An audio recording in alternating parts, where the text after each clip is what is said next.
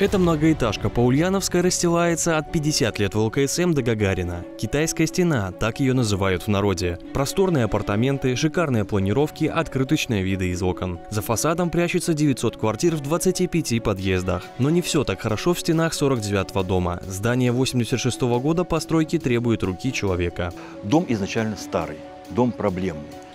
Извините, это ваша работа, не моя пенсионера Шинного. Последняя капля. Часть подъездов знаменитого дома относится к ЖЭУ, часть к частному кооперативу. И тут ворох вопросов, все к одному человеку, председателю ПЖСК номер 31. Уже обратились в администрацию, ему были конкретно Да. предъявлены сроки решения проблемы. Вот, э, смотрите, ответ был дан вот 14.06. Мгм. То есть с того момента не изменилось ровным словом ничего. И вот попросили повесить доску объявлений. И как давно это сделали? Э, доска объявлений месяц назад он повесил. Э, Но мы попросили, чтобы на доске объявлений были все актуальные номера телефонов, сантехника, электрика, председателя. Если планируются какие-то собрания, чтобы это было освещалось на доске объявлений, вся актуальная информация. Состояние подъездов наша съемочная группа смогла оценить собственными глазами. Трещины в стенах, осыпавшаяся штукатурка, выбитая плитка, отсутствие лестничных перил. Снаружи ситуация не лучше. Вот сбоку, сверху она висит. Отходит вон та часть, оно видно, где слив идет. То есть здесь оббили вчера просто очень экстренно, все подбивалось, потому что висели куски, которые падали просто на голову. Приехал какой-то мужчина, поотрывал кусочки, все это сгреб э, в мусорку и сфотографировал. То есть вот это вот оно все осталось. Злосчастные 21 и 23 выбивается из общей картинки. Нет мусорок, а от лавочек рожки до ножки. Вместо благоустроенных дорожек ямы до ухабы. Такая же ситуация с проезжей частью.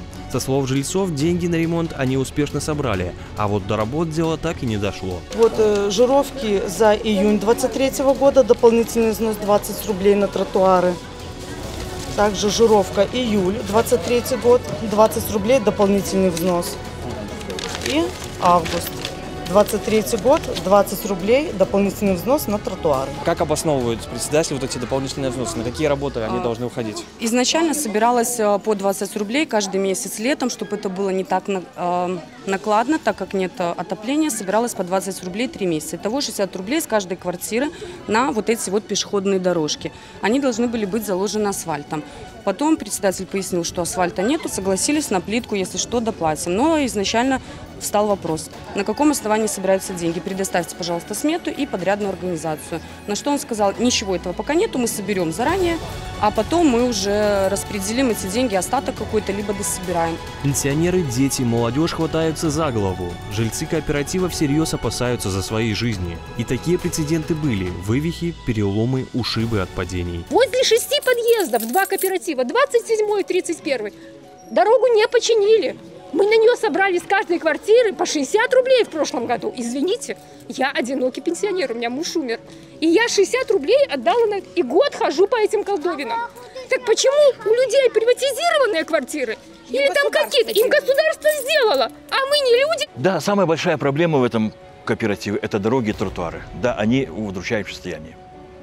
Но, к сожалению, к моему, я не смог найти организацию, которая была взялась за ремонт дорожек, даже за деньги, которые собраны людям. Вот. Здесь, наверное, все-таки, ну, может, где-то и моя недоработка. Это здесь свою ошибку я признаю. Москва не сразу строилась. Председатель поясняет, вопросы решались постепенно. В прошлом году из межпанельных швов задувало квартиры. Недочет исправлен. В нынешнем уже заменена кровля входных групп. Оставшиеся работы в полном объеме завершились 7 октября. Э, Через месяц после моего вступления в должность у людей потекла крыша. Пришлось, естественно, тратить какие-то ресурсы и делать кровлю. Ну, это большая проблема. Вот. Затем глянули мы верхние этажи, балконы все, они также текли. Были переделаны все балконы по этому дому. Сейчас жалоб на протекающую кровлю и протекающие балконы нет.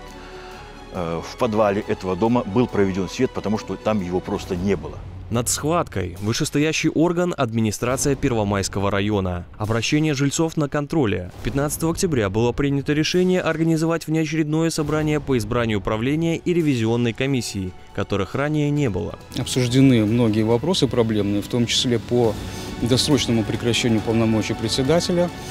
И по итогам собрания членами общим собранием членов кооператива было принято решение о проведении независимого аудита финансово-хозяйственной деятельности и ну, бухгалтерской документации. Ну, после чего уже будет приниматься окончательное решение членами кооператива по поводу, скажем, деятельности председателя.